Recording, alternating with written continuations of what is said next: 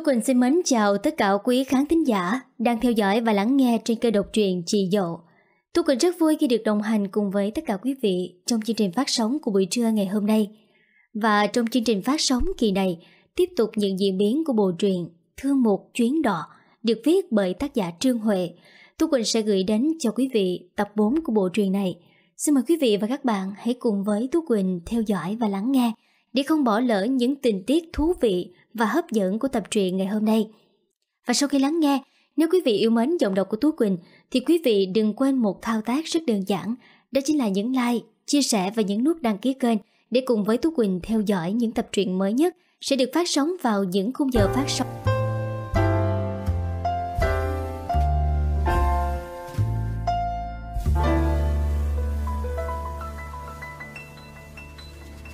Từ nhỏ cái liền nó đã dứt giả Việc gì trong nhà cũng tới tay nó. Chị Thắm chẳng cần phải nói Nó cũng tự làm hết tất cả mọi thứ. Bây giờ nó đi lấy chồng rồi Chị chỉ mong sao Cuộc sống của nó thật an nhàn, hạnh phúc. Còn chị thì sao cũng được. Cái liền nó liền đem tim heo hầm với hạt sen. Nghe người ta nói món này bồi bổ rất tốt. Nó nấu một hồi để cho cả nhà cùng ăn. Mấy đứa em được ăn ngon Đứa nào cũng vui ra mặt. Nó bây giờ chỉ ước sau này có thể lo cho bố mẹ nó nhiều hơn. Có điều nó biết điều đó rất khó, bởi vì bây giờ cuộc sống của nó ở đó lạnh lẽo, giống như địa ngục. Nó không dám nói cho bố mẹ nó nghe.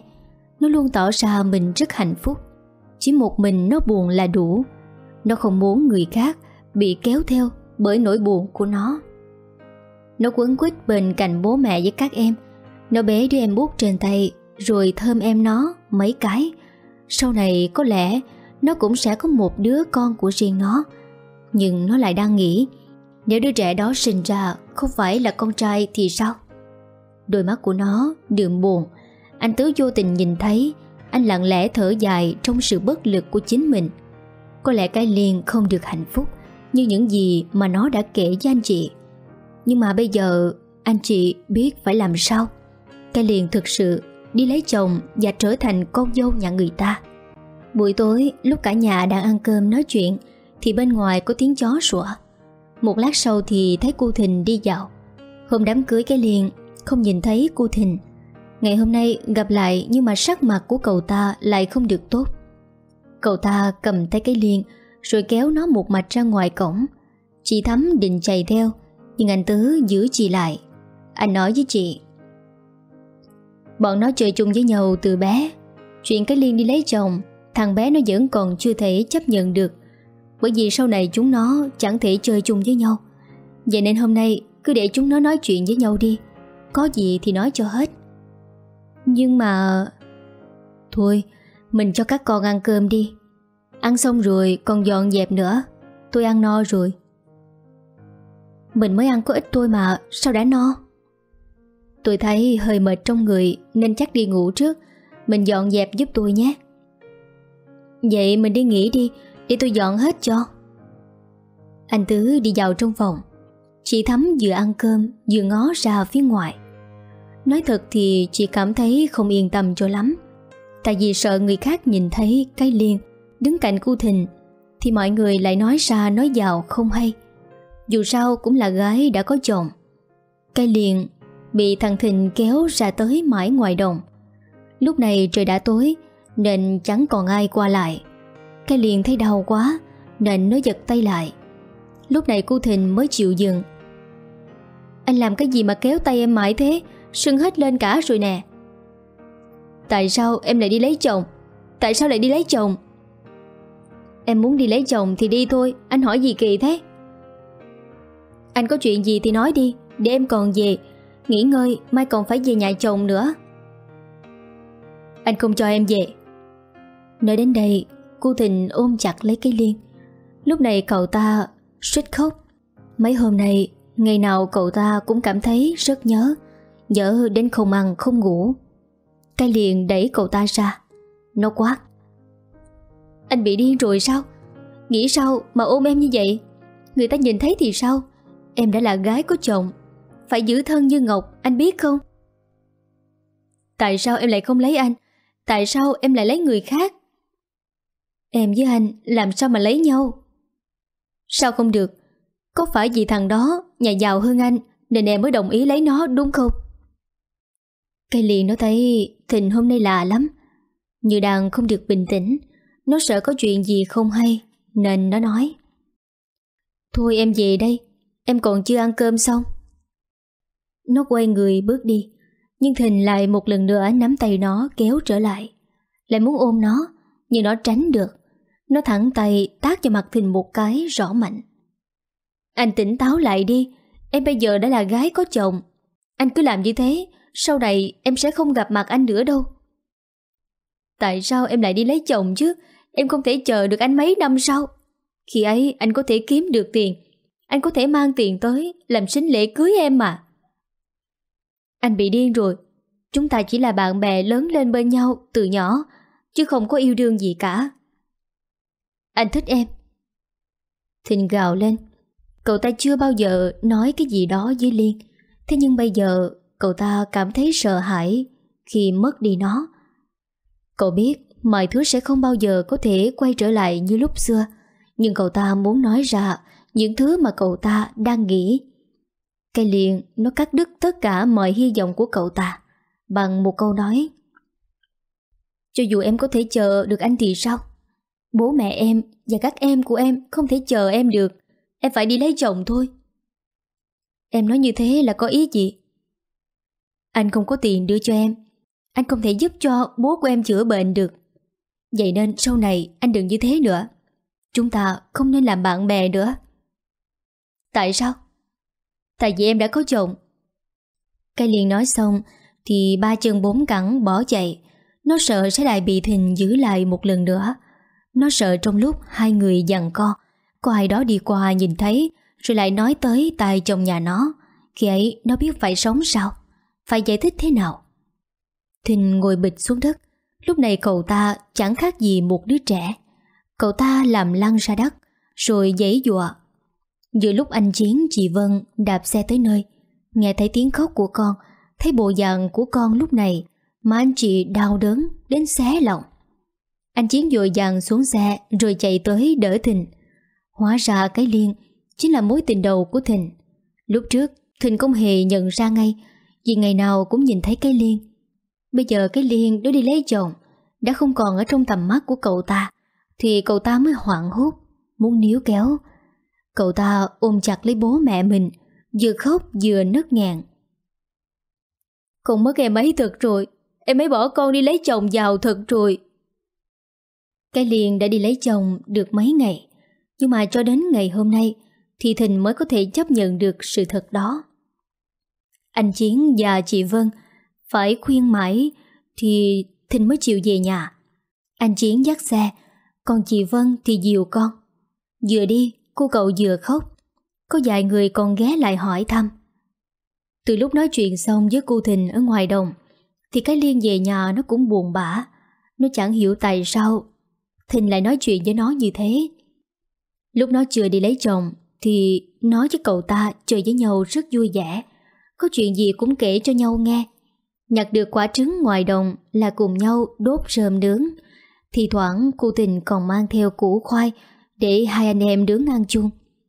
Có lúc Cái liền đói quá, Thịnh còn lấy cơm ở nhà mang theo cho Cái liền ăn. Tình cảm anh em gắn bó là như thế.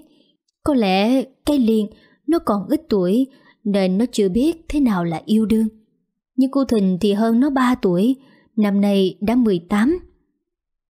Nó trằn trọc suốt cả đêm không thể ngủ Nó tiếc nuối Nó nhớ nhung những tháng ngày Cùng nhau nô đùa vui vẻ Sáng sớm đã ra khỏi giường, Nó dọn dẹp tất cả mọi thứ xung quanh, Rồi mới thu dọn đồ đạc Để quay trở lại nhà chồng. Nó phải về sớm một chút, Lỡ ông Vinh về nhà Thì lại căng nhăn Chị Thắm cũng dậy sớm, Nấu cháo cho nó ăn. Đi một đoạn đường dài, Vậy mà không thể có gì lốt bụng. Chỉ còn cẩn thận nấu cơm, Làm cơm nắm để cho nó ăn dọc đường. Dù quán đường không quá xa nhưng một người mẹ luôn muốn chăm sóc con mình, Phải làm tất cả mọi thứ Trong khả năng Mới có thể yên tâm. Nó bế các em Thơm mỗi đứa mấy cái, Rồi sau đó nó ôm bố mẹ Mới có thể đi được. Dù rằng trong lòng nó không nở một chút nào, Nó lại mặc bộ đồ cũ, Đầu tóc lại làm rối tung lên. Nhìn nó sao mà thê thảm quá. Nó tới nhà ông Vinh Thì cũng chỉ mới nửa buổi sáng Lúc này trong nhà không nghe tiếng động. Mọi thứ im liệm Nó biết là ông Vinh vẫn chưa về. Nó nhanh chóng đi về phòng tắm rửa, Rồi lại thay đồ. Mất công để người khác tới nhà nhìn thấy nó Trong bộ dạng này, Thì bố mẹ chồng lại trách mắng, Vì nó làm cho ông bà mất mặt. Nhà có cửa hay sắt lúa gạo, Cho nên Người làm nhiều lắm. Sân giường rộng rãi, Lúc nào cũng có người quét. Người làm trong nhà thì không thiếu nhưng mà cái liên, Nó chẳng quen biết ai ở đây, Nên họ cũng chẳng nói chuyện với nó. Mà cũng có thể là họ không muốn nói. Nó nhìn người đi qua đi lại, Mà cảm thấy buồn. Nơi này khiến cho nó cảm thấy rất cô độc. Nó chỉ mới ở nhà bố mẹ về thôi, Mà nó muốn quay trở lại. Nó rất nhớ nhà của nó, Nhớ bố mẹ và các em. Mai ở trong phòng với Thu. Một người làm trong nhà, Đó là người làm giúp Mai. Chăm sóc hai đứa con nhỏ. Nói thật thì một mình Mai Không thể nào quán xuyến được Hai đứa con nghịch ngợm. Thu vừa gấp quần áo, bỏ trong giỏ, Vừa nói với Mai. Chị ơi, em thấy con nhỏ đó về rồi đó. Ai? Thì con Liên đó. Ăn nói cho cẩn thận, Đó là vợ của anh Đạt. Em mà nói chuyện kiểu đó, Để mọi người nghe được là không hay đâu. Nhưng mà em cảm thấy rất ghét nó. Lúc nào nhìn nó cũng kiểu quê mùa, Ngây thơ sao đó. Sao mà thấy giả tạo quá? Có như thế nào cũng không được đánh giá, Biết chưa? Đừng có để dạ miệng. Em biết rồi. Trong lòng Mai cảm thấy rất không thoải mái. Tuy nhiên, Không thể hiện ra ngoài. Một phần gì Đạt vẫn một lòng một dạ Với mấy mẹ con. Phần là gì cũng còn nể mặt ông Vinh. Một người phụ nữ Phải chia sẻ chồng mình với người khác Là điều không hề dễ dàng, Cũng chẳng ai muốn cả. Nhưng bây giờ Gã vào một gia đình Như gia đình ông Vinh Thì Mai phải chấp nhận, chỉ mong sao Đạt lúc nào cũng một lòng một dạ. Có điều họ cưới cái liên về Là để đẻ con trai. Vậy nên chuyện Đạt và cái liên gần gũi Là điều không thể tránh khỏi. Chỉ nghĩ tới đó thôi, Mai đã cảm thấy đau đớn. Ông Vinh đã lên thị xã được ngày thứ hai. Nói thẳng ra thì ông đã đi lang thang những khu trọ này ngót nghét một ngày. Ông vẫn chưa thể gặp được người mà ông muốn gặp. Rõ ràng là địa chỉ Vũ đưa, nhưng ông tới thì người ta bảo không đúng. Chẳng hiểu kiểu gì. Ông cảm thấy rất chán nản Nhưng vẫn muốn gặp được người cũ Nên bám trụ trở lại. Chẳng có ở đâu bằng ở nhà cả. Từ đồ ăn cho tới sinh hoạt Rất bất tiện. Đang đi lang thang trên đường, Thì bỗng dừng ông có cảm giác Người vừa đi qua mình rất quen. Ông dội vàng quay lại. Trà. Thoáng nhìn thấy người đó giật mình một cái, rồi người đó nhanh chóng bước đi. Bởi vì cái dáng dội dã đó Khiến cho ông Vinh đuổi theo. Ông càng đuổi theo, Càng gọi, Thì người đó đi càng nhanh, Khiến cho cái thân dạ của ông Phải dùng hết sức bình sinh Mới có thể đuổi kịp. Sao lại có thể đi nhanh tới như thế? Ông nắm lấy cánh tay người đó. Lúc người đó quay lại Thì cũng là lúc ông bàng hoàng. Trời ơi! Ông không thể tin vào mắt một vết sẹo lớn trên gương mặt người đó. Người đó dội dàng lấy tay che đi Rồi quay đi. Ông lại một lần nữa kéo người đó. Trà, có phải trà không? Bao nhiêu năm trôi qua Cho dù đã thay đổi rất nhiều từ gương mặt cho tới dốc dáng. Nhưng sao ông có thể không nhận ra Người mà ông yêu thương? Người đó kéo cái nón xuống, Che đi nửa khuôn mặt, Rồi lắc đầu. Chắc ông nhầm người rồi, Tôi không phải tên Trà. Không thể nhầm lớn Là bà kia mà Tôi đã nói ông nhầm rồi, Tôi không phải cái người tên Trà mà ông muốn tìm đâu. Thôi, ông bỏ tay tôi ra đi, Tôi còn phải về nhà nữa. Người đó đã nói như thế, Nhưng ông vẫn nhất quyết không buông. Ông một mực khẳng định. Bà chính là Trà, Thu Trà. Người đó bật khóc. Bao nhiêu năm trôi qua, Bây giờ khi nghe ông Vinh gọi tên, Lại khiến cho bà cảm thấy dở òa Lúc này thì ông Vinh đã khẳng định chắc chắn Người đang đứng ở trước mặt mình Chính là người mà ông muốn tìm. Ông kéo bà đến một cái gốc cây, Rồi hai người ngồi xuống đó. Bà đã đi đâu thế? Tại sao lúc đó bà lại bỏ đi? Chẳng phải tôi đã nói với bà Là đợi mọi thứ ổn định, Tôi sẽ về trước bà sao? Bà cười Trong nụ cười của bà vừa có sự buồn bã, Vừa có cả sự chua xót Ông nói, Ông sẽ giúp tôi về sao? Đợi được tới ngày đó, Có lẽ tôi cũng chết mòn sư rồi Tại vì tôi không tìm thấy bà thôi nếu như ông tìm thấy tôi thì sao? Ông sẽ làm trái ý bố mẹ ông, Rồi phật lòng bố mẹ vợ Để rước tôi về sao? Nếu như ông có bản lĩnh đó, Thì ngay từ đầu, Tôi với ông có phải chia tay nhau không? Ông nói thì hay lắm. Tôi không thể làm trái ý bố mẹ tôi được, Vì còn nhiều thứ liên quan. Nhưng mà tôi đã bảo Bà chờ tôi rồi kia mà.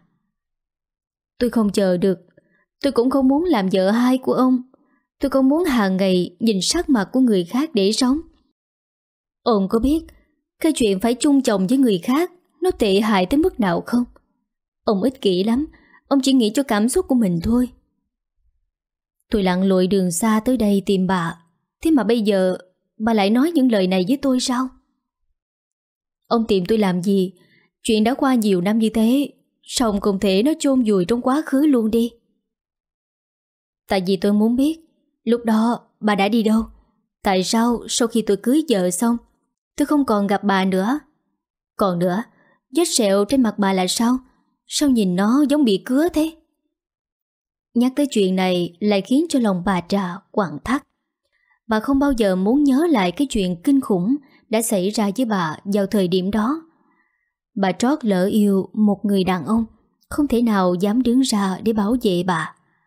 Lúc nghe ông hứa Bà cũng chờ ông lắm. Nhưng bà nghĩ nếu một người đàn bà Mà cùng một người đàn bà khác Có chung một người chồng Thì chắc chắn sẽ không hạnh phúc. Vậy nên bà quyết tâm rời đi. Cũng chính cái thời điểm đó Bà muốn rời đi Thì bà phát hiện ra mình có thai. Suy nghĩ cho con Nên bà lại muốn chờ, Muốn con mình có bố như người ta. Cái thời của bà Không chồng mà chữa, Nó ghê gớm lắm. Người ta chửi rủa, Rồi người ta dồn ép vào bước đường cùng. Không có gì có thể tưởng tượng được, Chuyện đó nó khủng khiếp với một người phụ nữ tới mức nào. Bà vẫn ở lại ngôi nhà cũ, Mẹ bà mất sớm, Còn bố thì đã có vợ mới. Họ chẳng quan tâm gì đến bà cả, Nên bà ở trong cái lều dịch phía sau nhà. Những tưởng ngày tháng cứ trôi qua như thế, Rồi bà sẽ chờ được tới ngày ông Vinh Rước bà về làm hai. Nhưng không Bà đã bị vợ của ông cho người rạch mặt, Cảnh cáo rồi đuổi đi. Còn dao dí trên mặt bà, Rồi đi một đường rất ngọt. Cho tới mấy chục năm trôi qua, Bà vẫn nhớ như in cái cảm giác ấy. Nó đau đớn vô cùng. Bà bỏ trốn, Muốn đi tới một nơi thật xa Để giữ lại mạng cho con mình. Bà cũng chẳng bao giờ muốn gặp lại ông Vinh cả. Rồi bà lại vô tình gặp lại Vũ, Em trai của ông Vinh ngay lập tức ông ấy đã nhận ra bà. Đến cả nhà trọ cũ, Bà cũng không dám ở Nhất quyết bảo toàn chuyển đến nơi khác. Nhưng mà vì công việc của con Nên không thể đi quá xa. Hai mẹ con vẫn loanh quanh Trong cái thị xã này. Thật không ngờ lại gặp lại ông Vinh. Đúng là nghiệt duyên. Ông Vinh chưa nhận được câu trả lời mong muốn. Ông lại tiếp tục hỏi. Bà có nghe tôi hỏi gì không? Vết sẹo trên mặt bà là sao? Ai đã làm như thế chứ bà? Bà nói cho tôi biết đi. Tôi không sao cả. Cũng không có ai làm gì tôi hết. Ông đi về đi. Tôi với ông bây giờ không còn gì liên quan tới nhau nữa hết. Không đúng. Còn con trai của tôi thì sao? Đứa con trai thất lạc nhiều năm của tôi. Sao bà có thể nói là không liên quan chứ? Con trai nào? Bà Trà hoảng hốt. Ông ăn nói luyện thuyền cái gì vậy? Tôi với ông làm gì có đứa con nào? Bà không phải giấu giếm tôi làm gì nữa. Tôi đã biết cả. Vũ đã nói với tôi. Nói là bà đã có một đứa con với tôi. Nhìn giống tôi như hai giọt nước. Anh em nhà ông thật quá đáng. Các người không định để mẹ con tôi sống yên hay sao? Tôi đã lấy chồng và có con. Con nào của ông? Muốn tôi tin những điều bà vừa nói, Thì bà phải cho tôi gặp mặt nó, Để tôi nhìn xem Nó có giống tôi như lời thằng Vũ nói hay không. Tại sao tôi phải cho ông gặp mặt con tôi? Còn tôi với ông không hề có liên quan gì tới nhau cả. Hai người đôi co qua lại, Thì bà Trà đứng dậy bỏ đi.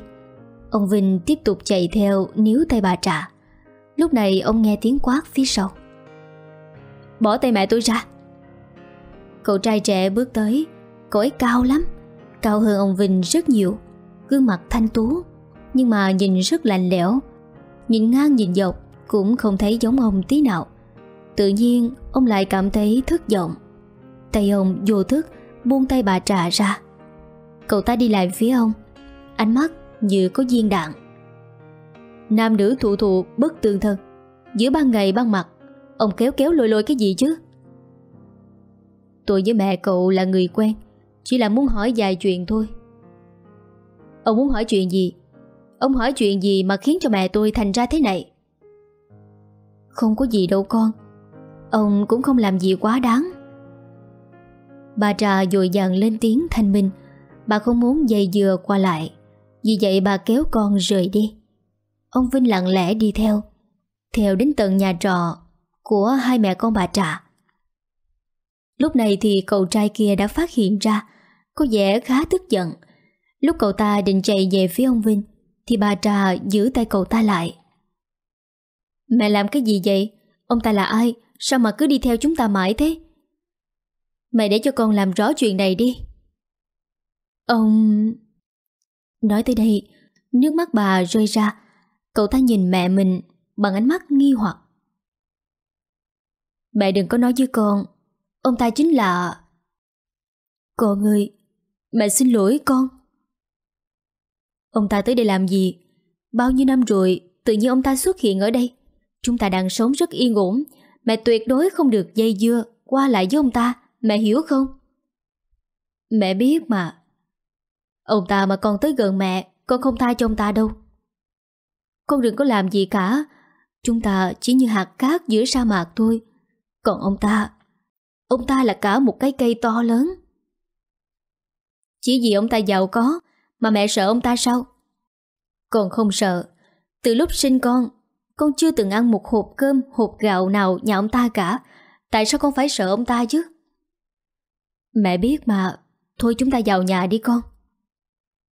Vào trong rồi mà cậu ấy Vẫn còn không hết ấm ức. Rốt cuộc thì ông ta tìm mẹ làm gì? Không phải ông ta lấy vợ rồi hay sao? Mẹ không biết nữa. Nhưng mà ông ấy nghe tin mẹ có con với ông ấy nên tới tìm. Con không có quan hệ gì với ông ta cả. Bà Trà nhìn con mà không biết phải làm như thế nào. Khi con được 18 tuổi đã bắt đầu hỏi những thứ liên quan về bố.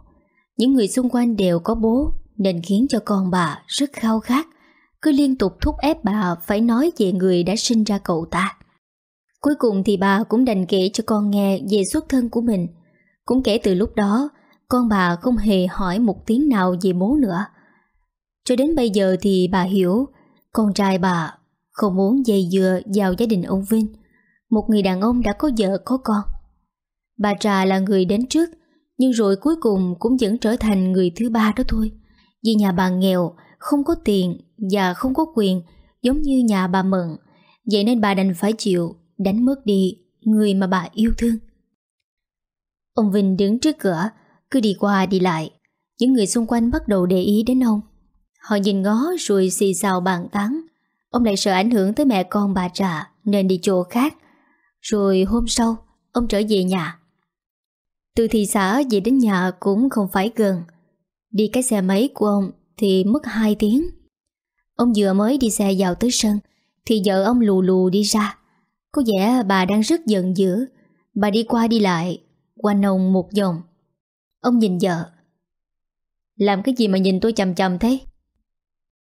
Ông đi những hai ngày Vậy ông đã mua được máy mới chưa? Chưa mua. Ông dựng chân chống xe xuống Rồi đi vào trong nhà. Bà cũng đi theo. Ngồi xuống ghế, Rót cốc nước còn chưa kịp uống, Bà lại hỏi. Tại sao ông chưa mua? Máy mới rất đắt. Đợi mai mốt Giá nó hạ thì mua. Dù sao thì máy cũ dùng vẫn đang tốt. Ông biết máy cũ dùng vẫn đang tốt, mà ông vẫn lượng lời đi tìm máy mới. Ông cũng được lắm. Bà lại suy nghĩ linh tinh cái gì đó. Tôi suy nghĩ linh tinh sao? Ông đừng có tưởng tôi không biết. Qua mặt tôi không dễ thế đâu. Bà biết cái gì? Lúc nào cũng nghi ngờ linh tinh dớ dẫn. Về tới nhà là thấy mệt rồi. Ông ra đường chắc là không cảm thấy mệt mỏi đâu nhỉ. Lúc nào cũng chẳng có mấy đứa trẻ đẹp. Nó bầu lấy. Đứa trẻ đẹp là đứa nào? Bà cứ nói thẳng tên ra đi. Tôi biết tên đâu bà nói. Đừng có tối ngày ghen bóng ghen gió nữa. Nếu mà rảnh rỗi quá thì kiếm việc làm đi. Ra xem xưởng người ta làm ăn thế nào. Biết bao nhiêu công việc cần phải làm kia kìa. Tôi lấy ông về để làm vợ chứ không phải để làm con hầu kẻ ở trong nhà ông. Lúc trước ông lấy tôi, bố mẹ tôi đưa cho ông biết bao nhiêu tiền bạc của cải. Ông phải đối xử với tôi, thậm chí phải nâng niu tôi chứ không phải sai tôi làm việc như thế kia. Thôi được rồi, thế thì bà không cần phải làm cái gì cả. Nhưng mà bớt nói lại đi. Nè, dạo này ông khác lắm đó nha. Bảo sao mà tôi không nghi ngờ. Bỗng dưng ông Vinh nhìn bà Mận bằng ánh mắt rất kỳ lạ, khiến bà giật mình. Mắc mớ gì ông lại nhìn tôi kiểu đó? Bà có chuyện gì giấu tôi không? Tôi thì có chuyện gì giấu ông chứ? Thật chứ? Ông bị điên à? Tự dưng lại hỏi như vậy? Tốt nhất là bà đừng để tôi biết bà đã làm cái gì sau lưng tôi. Nếu không, tôi sẽ không để yên đâu. Ông không để yên, thì ông tính làm gì tôi? Bà cũng biết quá khứ của tôi rồi đó phải không? Tôi sẽ không nương tay với những kẻ dám chơi xấu thôi. Ông đang đe dọa tôi. Ông dám đi dọa vợ ông sao? Ông Vinh không trả lời mà đi thẳng. Bà ở phía sau hét lớn. Ông đứng lại ngay cho tôi. Sao ông dám chứ? Dù bà Mận hét lớn như thế nào, thì ông cũng không đứng lại. Ông đi một mạch về phòng. Trong lòng ông lúc này đang rất rối. Ông cứ nghĩ mãi tới vết thẹo trên mặt của bà Trà. Số cuộc thì kẻ nào đã ác đức tới mức rạch mặt bà ấy một đường dài đến như thế. Bà mừng ấm ức đi ra phía sau giường hoa. Mỗi lần trong lòng bà cảm thấy không vui, bà lại tới nơi này. Bà rất thích mùi hương hoa nhài nên cho người trồng rất nhiều hoa. Hương thơm của nó thoang thoảng, nhẹ nhàng như một liều thuốc chữa lành vết thương. Cái liền đó không có việc gì làm, cả ngày cứ loanh quanh, lẫn quẩn trong nhà. Cái nhà này buồn cười lắm. Nếu mà ông Vinh ở nhà thì tất cả mọi người sẽ cùng nhau ăn cơm. Còn nếu ông đi vắng thì mạnh ai người nấy ăn. Ai không ăn thì mặc kệ. Nó đi lên quanh trong giường, vô tình nó chạm mặt Đạt. Không biết có chuyện gì xảy ra không mà nhìn Đạt có vẻ không vui. Cái liền nó ngoan ngoãn cúi đầu. Em chào anh. Ừ. Anh ta hờ hững ừ một cái rồi bước đi. Cây liền đã quen với cái biểu cảm này rồi nên cũng không nói gì. Nó cũng đi tiếp. Bỗng dưng nó nghe thấy tiếng anh ta. Nó quay lại thì thấy anh ta đang nhìn nó. Anh có chuyện gì muốn nói với em sao? Cô đi với tôi. Đi đâu vậy ạ? Cứ đi rồi sẽ biết. Đạt cho cái liên đi cùng tới xưởng. Anh ta chỉ cho nó vài thứ liên quan tới công việc. Từ xưởng sản xuất cho tới chỗ xây xác lúa gạo. Nó cũng không biết tại sao Đạt lại dẫn nó tới đây và chỉ chi tiết cho nó những thứ này. Nó ngoan ngoãn đi theo. Chuyện gì nó cũng gật đầu cả. Bỗng nhiên Đạt nhìn nó. Cô có biết một kẻ ngu ngốc nhất là khi nào không? Nó lắc đầu, quá thật nó không biết. Là khi ai nói gì cũng đồng ý, cũng gật đầu. Nó cảm thấy tuổi thân quá. Nó lại bị mắng. Nhưng mà nó không dám biểu hiện gì cả. Sợ đạt giận nó. Đây là người mà nó gọi là chồng. Nhưng nó sợ còn hơn cả cợt, Tại vì người này không có một chút tình cảm nào dành cho nó. Đến cả ánh mắt nhìn nó cũng còn tiết kiệm.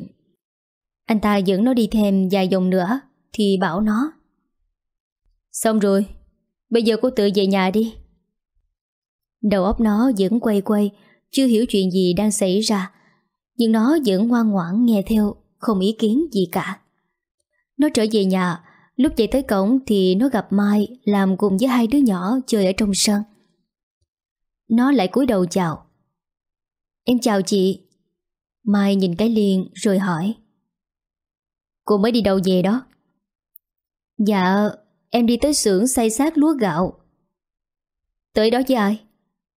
Với... Với ai? Với anh Đạt ạ. Sao cô lại tới đó với anh ấy? Em cũng không biết. Anh ấy bảo thì em đi cùng thôi. Tới đó rồi anh ấy có nói gì với cô không? Anh ấy chỉ cho em mấy thứ linh tinh, Xong rồi bảo em đi về đi. Cũng không có nói gì thêm hết. Cô đi vào nhà đi. Dạ. Bình thường cả Mai và Đạt Không bao giờ nói chuyện với cái Liên. Nhưng mà hôm nay không biết tại sao Lại như thế. Cái Liên đi rồi mà Mai Vẫn còn nhìn theo nó một lúc lâu. Chỉ mới cãi nhau Lời qua tiếng lại một xíu thôi Mà Đạt đã cư xử như thế. Mai nhớ lại chuyện lúc sáng sớm, Khi ấy mới có 3 giờ thôi, Mọi người vẫn đang im ắng ngủ say. Mai thực sự rất muốn sinh con trai, Nhưng dạo gần đây Chuyện vợ chồng không được như ý muốn. Đạt không hề có ý định đi qua phòng cái liên. Có điều cũng không chịu gần gũi với vợ. Mai đành phải chủ động. Nhưng mà điều khiến Mai thất vọng Là Đạt đẩy Mai ra Rồi xoay lưng về phía cô. Lúc này Mai nghĩ Đạt vẫn còn đang ngủ say Nên mới như thế. Vẫn tiếp tục chủ động thêm. Bỗng nhiên, Đạt ngồi bật dậy rồi lớn tiếng. Em có thể để anh ngủ yên không? Bây giờ đã là mấy giờ rồi? Em cứ cựa quậy như thế, Làm thế nào mà anh ngủ được? Anh làm sao thế? Em chỉ muốn chúng ta Muốn cái gì? Thì đỡ khác đi. Anh đi làm cả ngày, Đã mệt mỏi lắm rồi. Không phải em biết dạo này Trong xưởng nhiều việc hay sao? Hay là em không phải đi làm, Cho nên em không biết mệt mỏi? Sao tự nhiên anh lại lớn tiếng với em? Anh không hề muốn như thế, Nhưng em không cảm thấy mình quá đáng sao? Suốt ngày em ghen bóng, ghen gió, Rồi em làm đủ thứ hết. Đừng có tưởng anh không biết. Chồng em có thêm vợ, Em không thể ghen hay sao? Bây giờ em muốn có thêm con trai, Để vừa lòng bố anh. Em muốn gần gũi với anh, Nhưng anh lại cư xử với em như thế. Em cảm thấy Như vậy có công bằng hay không? Anh không phải là không muốn sinh con cùng với em, Nhưng mà thực sự anh đang rất mệt. Anh đã nói với em mấy ngày hôm nay như thế nào rồi, mà em không thông cảm cho anh thế. Em cũng muốn thông cảm cho anh lắm, Nhưng mà nhà anh có hay thông cảm cho em đâu? Nếu như em không có con trai Thì người có con trai Chính là cái liên. Rồi khi ấy địa vị trong cái nhà này của em còn gì nữa? Anh đã nói với em rất nhiều lần rồi. Trong lòng anh chỉ có em và con Nhưng em không tin tưởng anh. Anh không hề muốn lấy thêm vợ. Là do ông ấy ép anh. Em hiểu không? Em không hiểu, em cũng không muốn hiểu. Đạt hất chân sang một bên, rồi đi ra khỏi phòng. Ra gần tới cửa, Mai chạy theo, níu lấy áo Đạt. Anh định đi đâu? Anh muốn đi qua phòng cô ta có phải không? Phải thì sao? Phải thì làm sao? Đạt mở cửa bước ra ngoài, Mai ngồi xuống nền đất lạnh lẽo, cảm thấy sự chua chát trong lòng. Có những chuyện người ta không muốn làm, cũng không muốn biểu hiện ra ngoài đâu. Nhưng mà con người chứ không phải cục đá mà không có cảm xúc. Thứ cảm xúc ấy chính là khó kìm nén nhất. Quay trở về thực tại, Mai biết là Đạt đang rất giận.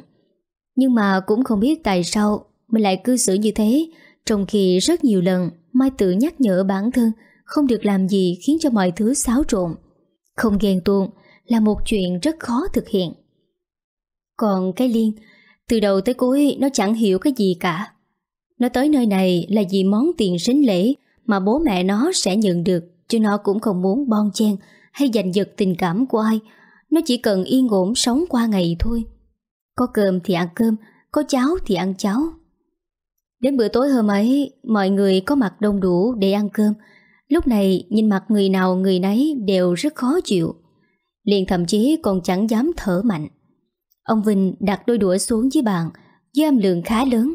Chẳng hiểu ông đang bực tức cái gì. Một cái đũa lăn xuống dưới đất. Ly dội dàng đứng dậy, lấy đôi đũa mới cho bố chồng. Nó vừa đặt đôi đũa xuống trước mặt, thì ông quát lớn. Lê mê đến thế là cùng, Con lấy đôi đũa thôi, Mà lâu ơi là lâu Đợi mày lấy xong đôi đũa, Chắc tao ăn no cơm rồi đó Thấy chồng quá vô lý, Nên bà Mận nói Ông làm rơi đũa, Chứ có phải nó làm rơi đũa của ông đâu, Mà ông nói như thế Tôi làm rơi nhưng nó phải đi lấy cho tôi. Thì làm sao? Tôi mang nó về đây bằng tiền, Chứ không phải nước lã hay lá chuối đâu. Chẳng làm gì cả, Nhưng tự nhiên lại bị mắng oan, Khiến cho cây liền cảm thấy ấm ức. Nó không dám khóc, Nước mắt cứ thế chảy ra. Ông Vinh lại quát nó. Khóc cái gì mà khóc? Ai làm gì mà mày phải khóc? Mới nói có vài câu thôi Mà đã như thế. Sao cái lúc nhận tiền từ nhà tao, Mày không khóc đi. Bố thôi đi được rồi đó. Đạt nhìn thấy ông Vinh như thế. Thì anh quát lên. Ông lại quay sang nhìn Đạt Rồi mắng tiếp. Tao nói ai thì đó là quyền của tao. Mày không phải bố tao. Nên đừng nghĩ tới chuyện cản tao. Bố không cảm thấy Bố rất vô lý hay sao? Sao? Vô lý thì làm sao? Chúng mày muốn làm loạn lên phải không? Ông cầm bát cơm Ném ra phía ngoài sân. Khiến cho nó dở tan tành. Ông lại đến mức khiến cho mọi người trong nhà Không hiểu chuyện gì. Cũng phải thôi, Bỗng nhiên ông lại gặp người cũ Sang mấy chục năm xa cách. Bỗng nhiên, ông ta nghe nói Người cũ đó lại sinh cho mình một đứa con trai. Làm sao ông không bồn chồn, Không phát điên lên cho được? Ông không làm gì được ai, Thì đem hết giận dữ trong lòng ông Trút lên đầu kẻ yếu thế. Mà kẻ yếu thế ở đây Thì chẳng phải ai khác mà chính là cái liên.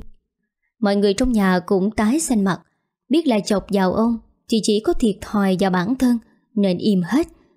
Ông đứng dậy rồi lớn tiếng. Con Thu đâu rồi? Lát nữa mang cơm vào phòng cho tao. Tao không muốn ăn cơm ở đây. Thế rồi ông bỏ đi. Bà Mận nhìn con một cái rồi dục. Thôi, mấy đứa ăn cơm đi, Kệ bố mày. Chắc là bố mày gặp phải chuyện gì rồi đó. Đạt hỏi. Gặp phải chuyện gì Thì mang hết về nhà, Trút lên đầu người thân hay sao? Mẹ không thấy ông ấy quá vô lý à Còn nhỏ tiếng thôi. Con không ăn cơm nữa, Con về phòng đây. Đạt về phòng. Lúc này Mai và hai đứa nhỏ cũng về theo. Mấy đứa nhỏ chơi ở ngoài sân với Thu, Còn Mai thì vào phòng cùng với Đạt. Không khí vẫn rất gượng gạo, giống chỉ là Mai muốn làm hòa với Đạt. Nhưng mà khi nãy Đạt lên tiếng, Bên giật cái liên, Khiến cho Mai cảm thấy hơi khó chịu. Mai hỏi Đạt, Sáng nay, tại sao anh lại đưa cái liên Tới sự xây sát lúa gạo thế? Có cái gì lạ đâu, Là người trong nhà Thì phải biết chỗ đó rồi chứ. Người trong nhà? Em lại làm sao thế? Bây giờ cô ấy, Dù sao cũng được gả vào nhà này rồi. Tốt xấu gì thì cô ấy Cũng được gả dưới đây. Với danh phận là vợ của anh. Chỉ hài chữ người nhà thôi, Mà cũng khiến cho em khó chịu đến như thế. Em không có quyền khó chịu sao? Em là vợ của anh, Được cưới hỏi đàng hoàng, Cũng được pháp luật công nhận. Còn nó thì sao? Nó chỉ là người bố anh đưa về đây. Để đẻ con trai thôi, Nó không xứng đáng với hai từ người nhà đâu. Em làm sao thế? Trước khi cưới cô ta, Em còn nói với anh, Sau này sẽ hòa thuận. Sẽ không khiến cho anh phải phiền lòng cơ mà. Em là phụ nữ, Em cũng biết ghen chứ. Anh không thể trách em được. Em ghen cái gì? Từ lúc cô ta về đây, Anh thậm chí còn không nói chuyện, Cũng không nhìn mặt cô ta. Tất cả cũng là vì không muốn em phải suy nghĩ. Ý anh muốn nói, anh cũng muốn nói chuyện, Cũng muốn tiếp xúc với cô ta đúng không? Chỉ vì anh không muốn em suy nghĩ, Nên anh mới không làm như thế, Chứ không phải anh không thích cô ta. Em lại suy nghĩ đi đâu thế? Còn không phải sao? Lúc trước bố mắng em Anh không hề bên giật một câu. Hôm nay bố mắng cô ta Anh dám đứng ra để bên giật cô ta. Anh còn bảo anh không thích cô ta sao? Đạt đưa tay lên Muốn dò nát cái đầu. Trong lòng lúc này khó chịu, bực bội. Anh ta cũng biết Có hai người vợ sẽ rất mệt mỏi Nhưng mà tới cỡ này Sớm muộn gì anh ta cũng sẽ phát điên lên thôi. Làm sao có thể chịu đựng được? Anh ta bỏ đi. Lúc này trong phòng chỉ có mỗi mình Mai. Mai lại ngồi xuống đất, Khóc lớn một trận. Nếu mọi thứ tiếp diễn, Thì Mai sẽ mất đi tất cả mọi thứ Mà từ trước tới nay vẫn đang có. Ghen tuông khiến cho con người ta mù quáng, Không còn nhìn thấy đâu là lối đi đúng đắn Để bước vào. Mai còn có người để trút giận. Chứ Cai liên thì làm gì có ai? Nó chỉ có thể thui thủi một mình ở góc giường. Mỗi ngày trôi qua đối với nó Đều rất buồn chán. Nó nhớ nhà, Nhớ bố mẹ và các em, Nhớ những công việc đồng án Mà trước nay nó vẫn thường hay làm. Thực sự không nghĩ Trở thành con dâu nhà giàu Lại khiến cho cuộc đời của nó Trở nên thê thảm đến thế. Từ ánh mắt của những người trong nhà này Đến cả thái độ của người đàn ông Mà nó gọi là chồng. Rồi sắp tới đây sẽ là người mà nó gọi là chị. Người danh chính ngôn thuận Là vợ của chồng nó. Nó biết Bản thân mình chỉ là kẻ được mang đến đây Để đẻ con thôi. Tự nhiên nó có một suy nghĩ. Nếu như nhanh chóng đẻ được con trai cho nhà họ, Thì có phải nó sẽ được giải thoát không? Như vậy thì nó sẽ được đi khỏi ngôi nhà này. Sẽ không cần phải ở đây Để nhìn người ta cãi, Chửi nhau hàng ngày. Nó chẳng thiết tha gì với thân phận Vợ một người đàn ông giàu có. Nó cũng không cần được anh ta yêu thương Hay chiều chuộng. Nó chỉ nghĩ duy nhất tới một điều, Đó là sự tự do. Nhưng mà Đạt không hề ngó ngàng gì tới nó. Nó cũng không thể chủ động Bảo Đạt gần gũi để sinh con. Nó cũng sợ Mai buồn. Nó thừa hiểu một người phụ nữ Khi phải trông chồng với người ta Thì sẽ ấm ức tới cỡ nào. Dù nó chỉ là một đứa con gái mới lớn, Nhưng nó biết hết chứ. Bố nó chỉ có một mình mẹ nó, Nên mẹ nó lúc nào cũng được quan tâm, Chiều chuộng. Nếu như một ngày nào đó, Bố nó đưa một người phụ nữ khác về Và ở chung vị trí của mẹ nó, Thì sẽ ra sao? Lúc ấy mẹ nó chắc chắn sẽ khóc nhiều lắm. Càng nghĩ nó càng cảm thấy thương Mai. Nó còn thầm hứa trong lòng Là cho dù sau này Mai có đối xử với nó ra sao, Thì nó cũng sẽ nhẫn nhịn hết. Nếu Mai không thèm ngó ngàng gì tới nó thì nó sẽ biết ơn Mai nhiều lắm. Bởi vì như vậy, Mai đã là một cô gái quá tốt. Đang ngồi thẫn thờ thì nó lại nhìn thấy Đạt. Anh ta cầm theo một cái gậy rồi ruột túi bụi vào cây bưởi. Tự nhiên nó cảm thấy hoảng sợ. Rồi bỗng nhiên anh ta quay đầu lại. Ánh mắt anh ta nhìn thẳng vào nó. Nó giật nảy mình. Anh! của đây làm gì? Em ở đây đi dạo một chút thôi. Trời tối rồi, Còn dạo chơi cái gì? Cô có biết ở đây Có những cái gì không mà dạo chơi? Dạ có cái gì ạ? À? Nhà bên kia Có nuôi một con trăng rất lớn. Nó thường ra giường để chơi đó. Cô có muốn chơi chung với nó không? Nghe Đạt nói như thế, Cái liền bà chừng bốn cẳng, Bỏ chạy. Nó thậm chí còn không thèm nói thêm với Đạt một câu nào. Cuộc đời của nó sợ nhất là con rắn, Hoặc là dòng họ của con rắn. Kể cả con lường cũng thế. Nó đều rất sợ. Bất cứ ở chỗ nào có những con đó, Nó đều sẽ bỏ chạy đi mất. Đạt nhìn theo bóng dáng của nó, Một cô gái nhỏ nhắn cũng đáng yêu đó. Nhưng Đạt cảm thấy thương Mai hơn, Người con gái đã ở chung với Đạt Suốt bao nhiêu năm qua. Đạt cũng không muốn Mai tổn thương, Mà thời gian này thì Mai như trở thành một người khác, Lúc nào cũng muốn kiếm chuyện với anh ta chỉ nguyện cái việc anh ta phải làm sao để khiến cho bố anh ta hài lòng, để làm cho anh ta đủ mệt mỏi lắm. Này lại thêm mai, khiến cho đầu óc của anh ta như muốn nổ tung. Người ta vẫn nói anh ta là một cậu ấm, lúc nào cũng chỉ biết hưởng thụ, chứ chẳng biết làm gì. Nếu không có bố mẹ, thì liệu làm được cái gì mà ăn? Anh ta bình thường cũng luôn tỏ ra mình là một kẻ ngu ngốc, phụ thuộc vào bố mẹ. Nhưng chẳng có ai biết được Giả tâm trong lòng anh ta cũng rất lớn. Anh ta cũng có rất nhiều tham vọng. Từ lúc gặp lại ông Vinh Thì bà Trà cứ như người mất hồn. Bây giờ cuộc sống của bà tốt hơn nhiều. Bà không còn phải lủi thủi nhặt rác Ở ngoài đường kiếm sống qua ngày nữa. Con trai bà lớn lên Rồi vất giả, chăm chỉ Làm gì không ngừng nghỉ Để có tiền lo cho bà. Nhưng mà Mẹ lại đang nghĩ tới ông ta sao? Hãy đứng ngay phía sau bà Trà. Cũng từ cái lúc gặp lại ông Vinh, Cậu ta tâm tính thay đổi. Rất nóng nảy, Nhưng mà cậu ta cố gắng kìm lại Để không làm mẹ mình tổn thương. Nhưng mà nhìn mẹ như thế, Cậu ta cảm thấy bất lực. Một người đàn ông đã bỏ rơi mẹ bao nhiêu năm, Thì đùng một cái tìm tới Lại khiến cho mẹ dao động đến như thế. Biết là con trai không thích ông Vinh, Nên bà trà chối. Mẹ nào có nhớ tới ông ta? Chỉ là mẹ đang nghĩ Ngày mai nên nấu món gì cho con ăn? Con không muốn ăn gì cả. Con đang giận mẹ đó sao? Con không giận mẹ, Nhưng mà con ấm ức thay cho mẹ. Tại sao ông ta bỏ rơi mẹ bằng ấy năm, Vẫn khiến cho mẹ trở thành như thế này? Mẹ vẫn còn lưu luyến ông ta hay sao? Mẹ đã nói với con, Mẹ không hề lưu luyến gì ông ta. Con đừng có hiểu lầm. Vết sẹo trên mặt mẹ Là thứ mẹ phải nhớ suốt đời này, Mẹ biết không? Mẹ không cho con trả thù cho mẹ, Vậy thì mẹ cũng đừng có dây dưa gì Với nhà họ cả. Bà thấy trong đôi mắt của Hải Là sự tức giận, Phẫn nộ. Bà sợ Hải sẽ làm gì đó nên can ngăn. Con hứa với mẹ đi, Con tuyệt đối không được tìm người phụ nữ đó. Vết thương này cũng đã lành rồi chỉ là sẹo một chút thôi.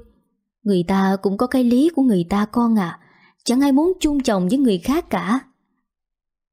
Thời điểm đó, Chẳng phải ông ta đã quyết định chọn bà ta rồi hay sao? Là do mẹ con à Lúc đó mẹ phát hiện ra mẹ có thai, Vậy nên mẹ muốn chờ máy đón mẹ về. Có lẽ bởi vậy mà người phụ nữ đó mới nổi cơn điên Sao mẹ lại cứ nhận hết tội lỗi vào người thế? Chuyện đã qua lâu lắm rồi, Mẹ không muốn nhắc lại nữa. Mẹ hứa với con, Mẹ sẽ không bao giờ qua lại với ông ta cả, Sẽ không để con phải phiền lòng. Cũng không để người phụ nữ đó Lại tìm đến đây, Rồi gây rắc rối cho chúng ta. Con đừng có lo. Con không phải muốn trách móc gì mẹ cả, Chỉ là con lo cho mẹ thôi. Mấy ngày tới con phải đi làm xa nhà. Con nghĩ là mẹ nên chuyển chỗ ở đi. Con không muốn ông ta lại tìm tới đây. Rồi gây phiền phức cho mẹ. Nếu như con muốn, Thì mẹ sẽ nghe lời con. Mẹ ở đâu cũng được hết, Chỉ cần là con vui. Nghe mẹ nói như thế, Hải cảm thấy có lỗi quá. Từ lúc Hải còn bé, Đã biết mẹ luôn dứt giả vì mình. Bởi vậy cho nên cậu ta luôn tự nhắc nhở Mình phải thật cố gắng, Chăm chỉ làm việc để lo cho mẹ, Để mẹ có cuộc sống tốt hơn. Bỗng nhiên gặp lại người đàn ông đó Khiến cho Hải cảm thấy rất bất an. Sợ một lần nữa, Ông ta lại kéo mẹ mình xuống địa ngục. Đêm hôm ấy, Bà Mượn vào giường ngủ cùng với chồng. Thế mà bà vừa chạm vào người ông Vinh, Ông đã xoay người đi chỗ khác Để tránh né. Bà bực mình quát Ông làm cái gì Mà cứ như bị ma động vào thế? Tôi mệt. Ông mệt hay là hai ngày đi lên thị xã Ông chắc kiệt sức cho con nào rồi. Bà lại như thế. Nếu mà tôi phát hiện ra, Ông làm trò gì sau lưng tôi, Thì ông đừng có trách. Bà ấm ức, Quay lưng về phía chồng rồi ngủ. Nhưng mà khổ nổi có ngủ được đâu. Cục tức trong lòng quá lớn, Khiến bà trằn trọc mãi. Không biết là có chuyện gì. Rồi bỗng nhiên, Bà lại nghĩ tới ông Vũ. Từ cái lúc gặp ông Vũ xong là ông Vinh tính tình thay đổi hẳn. Không biết là có cái gì mờ ám Giấm dúi với nhau hay không? Bà cố dằn lại trong bụng, Để ngày mai còn đi tìm ông Vũ hỏi chuyện. Tràn trọc mãi tới gần sáng mới ngủ được. Sáng hôm sau, Cái liền dậy thật sớm. Nó xuống bếp nấu cơm cho cả nhà. Việc này có người làm cả rồi, Nhưng mà nó ở không thấy mệt mỏi quá, Cho nên nó muốn xuống phụ giúp. Cô nấu cơm Kim luôn cả công việc dọn dẹp nhà cửa, Cũng tuổi đã xế chiều. Con cháu của cô ấy chắc cũng đã lớn. Trong cái nhà này chỉ có mỗi một mình cô ấy Là nhẹ nhàng với liên nhất. Nó cũng cảm thấy rất mến cô. Nó vừa nhặt rau, vừa hỏi chuyện. Cô ơi, Năm nay cô bao nhiêu tuổi rồi? 53 rồi, cháu à Vậy con của cô chắc lớn hết rồi phải không? Cô ấy cười buồn. Cô không có con, Cô cũng chẳng có chồng. Nó nghe cô nói mà thấy buồn cho cô quá. Chắc là cô cũng cảm thấy rất cô đơn. Cháu xin lỗi vì đã nói tới chuyện buồn của cô. Không có gì đâu. Chuyện này ai cũng biết. Cô cũng chẳng có giấu ai bao giờ hết. Dạ. Cây liền khá chăm chỉ, Nên cô ấy cũng rất có cảm tình với nó. Cô ấy làm việc ở đây khá lâu. Từng người trong nhà này cô ấy đều hiểu rõ cả. Cô ấy bảo với cái liên Tính tình ông chủ rất nóng nảy. Còn bà chủ thì... Cô ấy đột nhiên đâm chiêu. Có những người sao mà nhìn có vẻ vô tư, Nhưng lại cảm thấy không vô tư một chút nào. Không hiểu tại sao. Cháu cũng không biết. Tại vì cái liên, Nó không biết cô ấy đang nói tới ai. Nói thật thì nó cũng không phải là một đứa quá nhạy bén. Nó chỉ chăm chỉ làm việc thôi. Rồi cô ấy lại thở dài. Tính tình cậu Đạt cũng giống y như bà chủ vậy đó. Nhiều lúc, cứ giống như một dấu chấm hỏi. Không biết là cậu ấy là một người ham chơi Hay lại là một người đầy mưu tính? Nhiều lúc cháu nhìn vào mắt anh ấy, Cháu cảm thấy rất sợ. Không biết tại sao. Rồi cô ấy lắc đầu bảo, Thôi, đừng nhắc gì về mấy người đó Kiểu họ nghe. Cô chỉ là thân phận giúp việc thôi, Không dám đánh giá chủ nhà. Vậy còn chị Mai thì sao hả cô? Cháu thấy chị ấy rất hiền. Mai đó sao? Bình thường đúng là cô ấy rất hiền thật. Cô ấy hay giúp đỡ người nghèo, Cũng rất tốt với cô.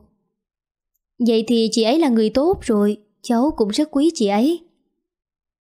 Nghe cái liền nói thế, Cô Hằng lại cảm thấy lo Lo cho cái số phận của nó sau này. Con người ai cũng có mặt tốt Và cả mặt xấu. Một khi người ta đã để cái mặt xấu lấn áp, Thì rất khó nói. Nhất là bây giờ khi Mai Đang phải chịu cảnh chồng chung với Liên. Cơn ghen tuồng có thể bùng phát bất cứ lúc nào. Vậy nên sau này có còn là một cô gái tốt Và hiền lành hay không? Thì không ai dám nói trước. Mà nếu có ngày đó thật, Thì Mai cũng không thực sự đáng trách. Đã tới giờ ăn cơm, Mà bà Mượn vẫn còn ngủ say. Ông Vinh đi qua đi lại ở phòng khách. Không biết là ông đang sốt ruột cái gì, Hay là ông đang chờ đợi ai. Cái liền nhìn thấy cảnh đó từ xa, Không dám tới gần để va trả. Nó sợ ông tìm một cái cớ gì đó Để đổ hết tội lỗi lên đầu nó. Cây liền nó đã định đi tới chỗ khác Nhưng mà sao ông vẫn nhìn thấy nó? Ông lớn tiếng gọi. Cái liền Đến đây tao bảo. Mang tiếng về nhà này làm dâu Mà cả bố mẹ chồng đều xưng mày tao. Chẳng khác gì một đứa ở trong nhà. Dù là nó cảm thấy rất buồn Nhưng nó không dám thắc mắc Và cũng chẳng dám lên tiếng kêu ca. Vì nó thừa hiểu Nếu nó làm như thế Thì họ sẽ càng quét nó hơn. Nó ngay lập tức đi tới chỗ ông Lúc này ông vẫn cái vẻ mặt cao có, khó ưa, Mà nhìn nó. Mày làm gì mà thập thò ở ngoài đó thế? Dạ con có làm gì đâu. Đến giờ cơm rồi, Mày không sắp cơm lên Để cả nhà còn ăn nữa sao? Dạ con đi ngay đây. Từ từ đã, Gọi mẹ mày dậy ăn cơm đi. Dạ. Cái liền nó nhanh chóng Đi tới phòng ngủ của bố mẹ chồng. Lúc này cũng vừa hay, Bà Mượn mới thức giấc. Bà nhìn thấy cái liền thì sai. Lấy cho mẹ chậu nước để mẹ rửa mặt. Pha ấm thôi, Đừng có lạnh quá. Dạo này mặt mẹ bị lên mấy cái muộn. Dạ. Cái liền nó nhanh chóng đi lấy nước cho mẹ chồng nó. Sáng nay chẳng biết bị gì, Mà bà nói chuyện với nó ngọt ngào thế. Mang nước vào trong phòng cho bà xong, Vừa lau mặt, Bà vừa nói với Liên. Thế cả nhà ăn cơm chưa? Bây giờ là mấy giờ rồi? Hơn 8 giờ rồi ạ. Muộn thế rồi cơ à? Dạ. Bố mày ăn cơm chưa? Bố bảo con gọi mẹ ra ăn cùng. Ừ Mà một lát nữa mẹ đi có việc. Ở nhà nhớ cơm nước đầy đủ cho bố mày ăn nghe chưa? Có khi đi tới chiều mới về đó. Dạ Nhưng mà mẹ không nói trước với bố sao? Nói để cho mấy cằn nhằn à.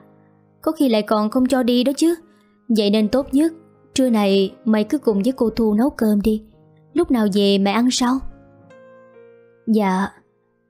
Xong, bỗng nhiên bà ấy nhớ ra chuyện gì đó quan trọng lắm. Bà dội vàng chụp lấy tay của cái liên. Ừm, Mà từ lúc đám cưới xong, Thằng Đạt nó đã qua phòng mày lần nào chưa? Cái liền nó lắc đầu. Dạ chưa. Ừ cái con bé này. Mày mà không chủ động đi đến, Lúc bố mày hỏi tới thì không xong đâu. Nhưng mà Nhưng mà cái gì? Có cái gì khó nói thì nói nghe xem. Con sợ chị Mai buồn, Với cả anh Đạt cũng không muốn tới gần con mẹ à.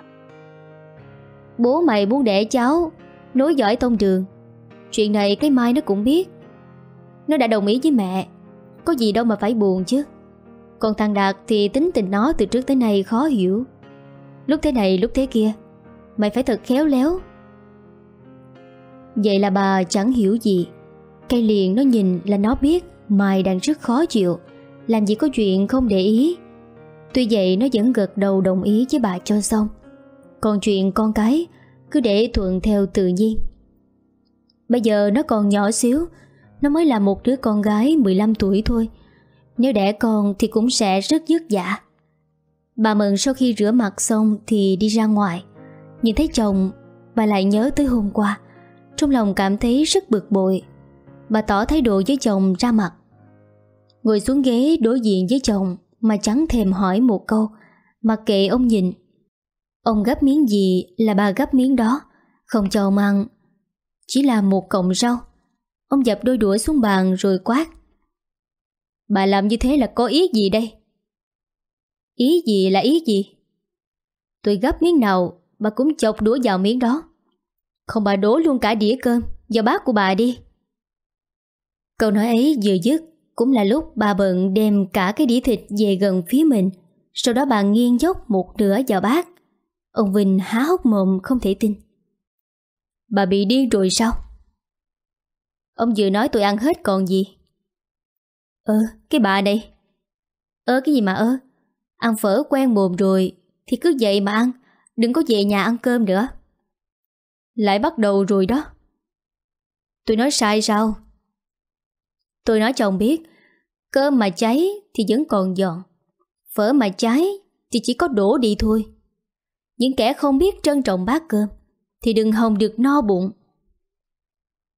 Bà cứ làm rầm rầm lên Khiến cho ông Vinh rất đau đầu. Ông giờ đã đủ mệt mỏi, phiền hạ Mà còn vợ thì cứ một điều móc mỉa Hai điều móc mỉa Sao mà ông có thể chịu được? Ông bỏ ăn rồi đứng dậy. Ông đi rồi, bà mượn vẫn ăn ngon lành, Không hề có ý kiến. Cai liền từ đầu tới cuối Không dám nói một tiếng.